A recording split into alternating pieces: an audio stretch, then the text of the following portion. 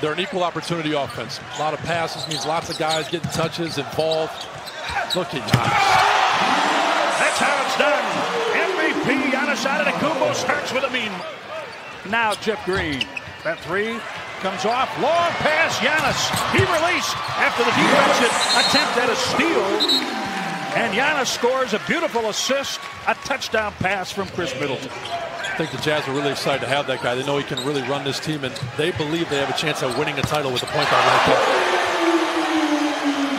that. But the Bucks have those pieces.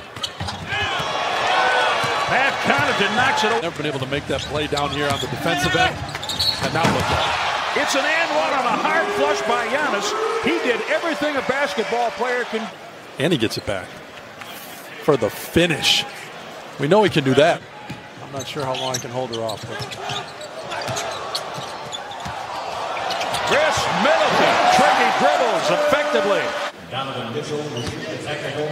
Khris breaking him down, doing what he does. One of the best isolation players in the game. Has the alphabet. The alphabet with a rebound. He comes back outside to Korver. And he switched it.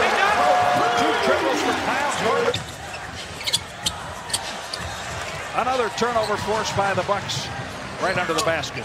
Giannis! Yes! He dunked himself to the deck. And they get to tell you that was because it was the most important thing you were going to do. So, my answer would be the same as every coach I've ever played for, coach.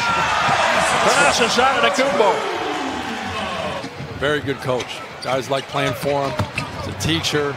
Simplifies things.